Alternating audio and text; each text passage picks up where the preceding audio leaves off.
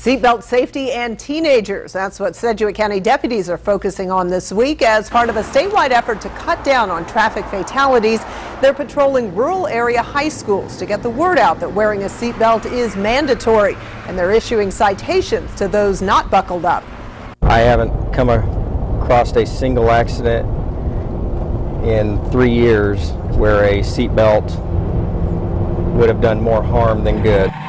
Tickets include a $10 fine. The crackdown lasts through March 19th.